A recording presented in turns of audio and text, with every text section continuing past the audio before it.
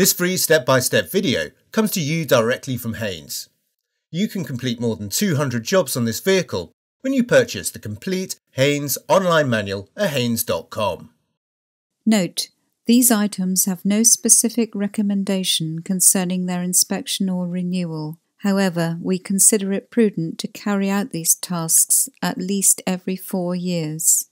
Due to their function and construction, the belts are prone to failure after a period of time and should be inspected periodically to prevent problems.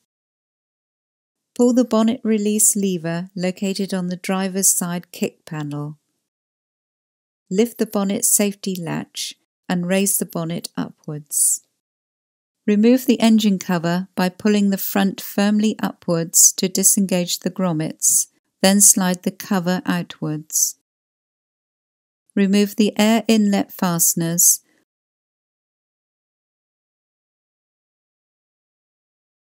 Then slide the cover towards the engine and disengage the tube leading to the air filter to remove it. With the engine stopped, using your fingers and a flashlight if necessary, move along the belts, checking for cracks, splitting and fraying on the surface of the belt. Check also for signs of glazing, shiny patches, and separation of the belt plies. If damage or wear is visible, the belt should be renewed. If the drive belt is to be reused, mark the running direction of the belt before removal. Rotate the tensioner clockwise using a socket on the hexagonal lug, then slide the drive belt from the pulleys, noting its routing before removal.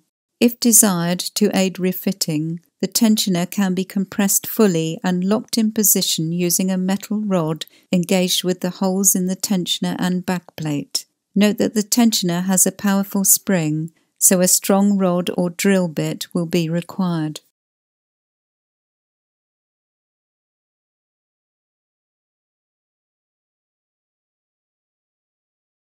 Engage the belt with the pulleys, ensuring it is routed as noted before removal.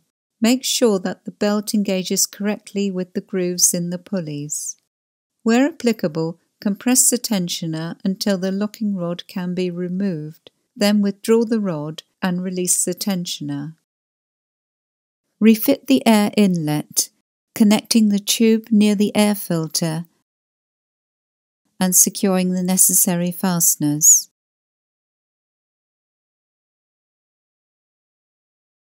Refit the engine cover by first sliding in the tabs at the rear of the engine, then aligning the grommets and pushing the front of the cover downwards at both ends to secure it.